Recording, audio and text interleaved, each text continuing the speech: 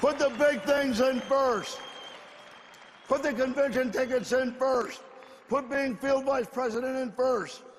Put the dreams, the goal statements, the ladder in first. And they'll happen. And you'll find space for the other things. But if you put out everything else first, Market America will never happen. You'll never be a field vice president. You'll never have the freedom. The dreams will never happen. And all it is is a matter of what you put in first in your life.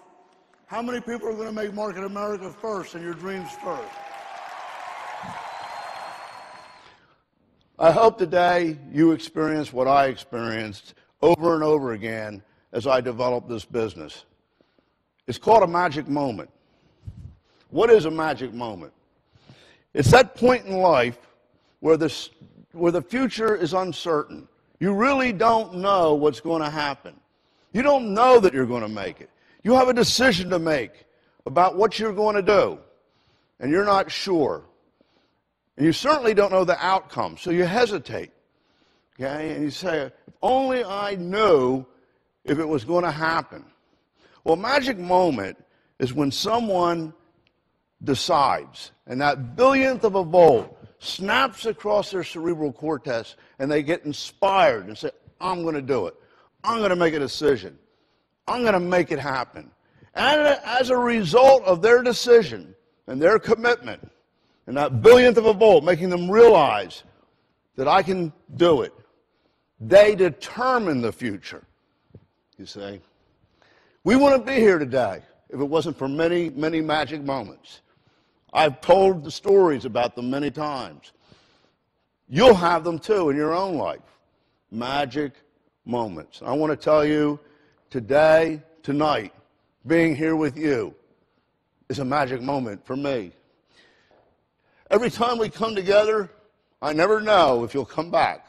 Because I know what you have to do. You have to go out in your own life, in your own town, your own job, around your own people, and deal with situations and problems.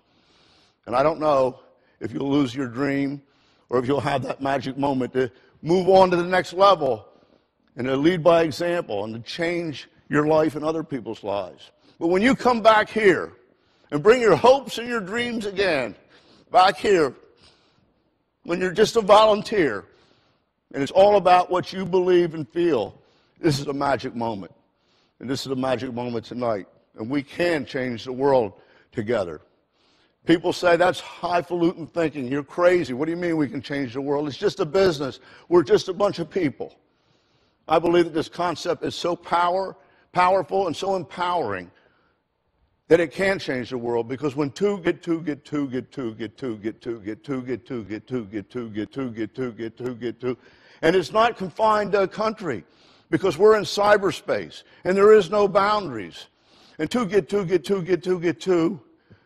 An American is sponsoring a Chinese, a Chinese, a Korean, a Korean, an American, and we all are doing business together and making money together. It's bigger than a government. It's bigger than any ideology.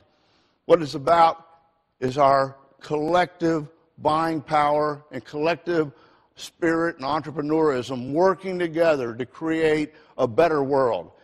You can't change the world by making rules, okay, or by politics or by demagoguery.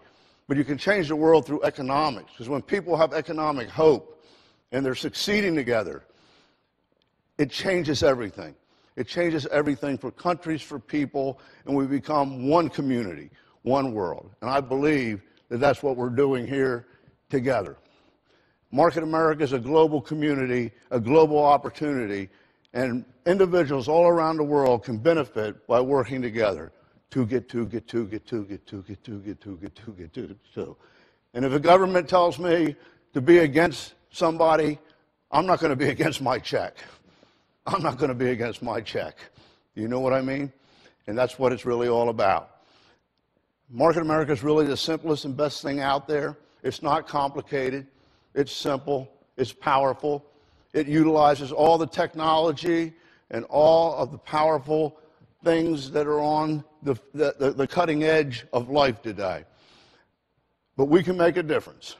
we can make a difference by embracing all those things and collectively and individually going forward to make this happen. It reminds me of a story that I'd like to close with of a prominent citizen who used to walk the beach in a resort town, a famous resort town. And every day, this would be his routine in the morning to walk the beach. And one day, in his morning stroll, he walked out on the beach and it was covered by starfish. The tide had gone out extremely fast because uh, of the positioning of the moon and Mercury tide, and uh, the starfish were stranded.